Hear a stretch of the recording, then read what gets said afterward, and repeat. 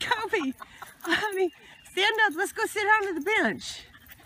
All right, Kobe, we're going to rest, okay?